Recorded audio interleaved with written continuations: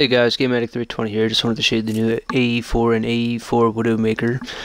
You can see uh, the damage for the AE4 is damage 9, accuracy 9, fire rate 11, range 8, handling 13, and mobility 10.